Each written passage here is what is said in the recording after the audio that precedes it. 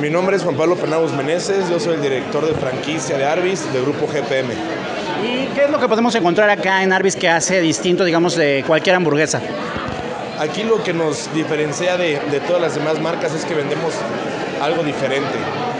Somos una marca que sale de lo tradicional, contamos con, muchísimo, con varias carnes de altísima calidad, como el pavo, el cordero, el roast beef, el pulled pork, el pork belly, el brisket y, este, y evidentemente igual un pollo de una excelente calidad. ¿Y por qué llegaron tan tarde, digamos, a Puebla? Ya habían, eh, bueno, ya estaban en el país, pero los conocíamos por Ciudad de México, ¿por qué apenas a Puebla?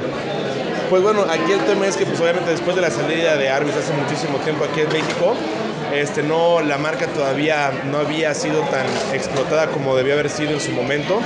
Después de que el grupo, un grupo que se llama Inspire Brands, adquirió la marca Arbis, le hicieron una reingeniería total, increíble, que es lo que está colocando Arbis entre las mejores marcas de comida rápida de Estados Unidos.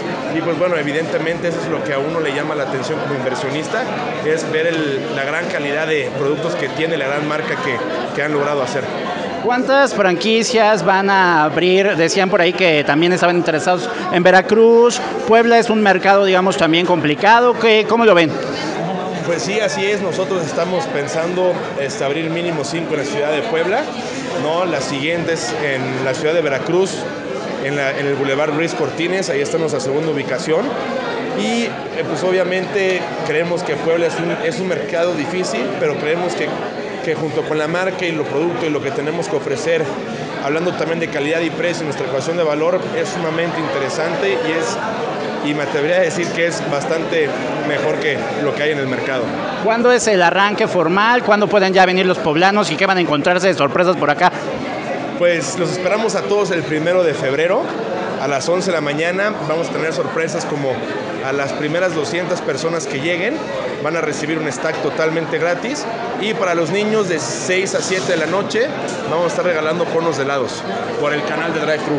Perfecto. ¿Y cuál sería la invitación para todas las personas que vayan a venir por acá?